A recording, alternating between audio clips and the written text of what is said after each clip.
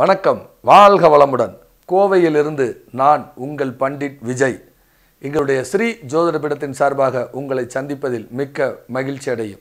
நிறைய வித்தியாசமான பரிகார முறை வித்தியாசமான ஜோதிட முறைகளை சொல்லிக்கிட்டு வர்றோம். இப்போ இந்த பண் இந்த திதிகளில் ஒவ்வொரு எந்தெந்த திதியில் பிறந்தால் அவங்க எங்கெங்கே போனால் அவங்க பிரச்சனை சால்வ் ஆகுங்கிறத சொல்கிறோம் இப்போ இந்த ஏகாதசி திதியில் ஒருத்தர் பிறந்துடுறாரு பொதுவாக அமாவாசை பௌர்ணமியில் பிறந்தவங்களுக்கு எந்த ராசியும் பாதிக்கப்படாது. இதில் இந்த ஏகா மற்ற திதிகளில் பிறந்தவங்களுக்கு ரெண்டு ராசி அடிபட்டு போகும். சதுர்த்தசியில் பிறந்தவங்களுக்கு நாலு ராசி அடிபட்டு போகும். அவங்களுக்கு இப்போ உதாரணமாக சதுர்த்தசியில் ஒருத்தர் பிறக்கிறாருன்னு வைங்களேன் லக்னமே வந்துருச்சு சூனியமாக லக்னம் சூனியமாக வந்தால் ஸோ அப்போ ஜாதகருக்கு பிரச்சனையை சந்திக்கக்கூடிய வீடாயிரும். நாலாம் இடம் பாதிக்கும் ஏழாம் இடம் பாதிக்கும் பத்தாம் இடம் பாதிக்கும்.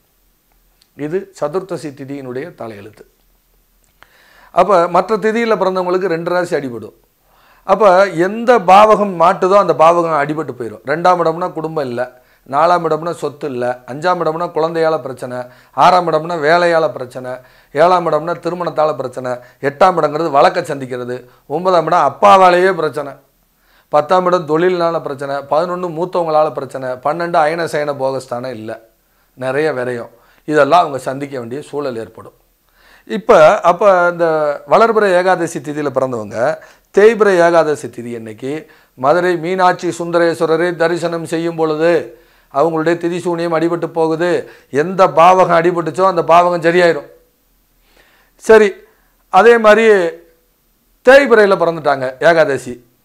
திருவில்லியங்குடி கும்பகோணத்துலேருந்து கும்பகோணத்துலேருந்து திருப்பனந்தாள் போகிற வழியில் திருவில்லியங்குடி அப்படிங்கிற ஊரில் இருக்கக்கூடிய ஸ்ரீராமரை வழிபடும் பொழுது எந்த ஜ ஜாதகத்தில் எந்த கட்டம் அடி வாங்குதோ இதில் என்ன கேட்டிங்கன்னா திரிசூனியத்தில் இப்போ நாலாம் இடம் திதிசூனியம் ஆகுதுன்னா அதில் போய் ஒரு கிரகம் போய் உட்காருதுன்னு வைங்க. அந்த கிரகம் ஏழாம் அதிபதியாக இருந்தால் அதுவும் அடிபட்டு போயிடுது இப்போ நாலு குடையர் போய் ஏழு குடையர்கிட்ட சேர்ந்துடுறாரு.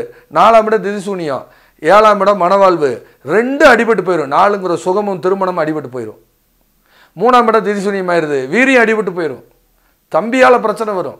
செக்குனால் பிரச்சனை வரும். காசோலை கொடுக்குற வழக்கு வரும். டாக்குமெண்ட் பிரச்சனை வந்துடும் ஸோ இவங்க இந்த இடத்துக்கு போகும்பொழுது அந்த தோஷ நிவர்த்தி ஏற்படுகிறது. திதியை பிடித்தால் விதியை வெல்லலாம். மீண்டும் ஒரு ஆரோக்கியமான சூழலில் உங்களை சந்திப்பதில் மிக்க மகிழ்ச்சி அடையும் நான் உங்கள் பண்டிட் விஜய். வணக்கம். வாழ்க வளமுடன்.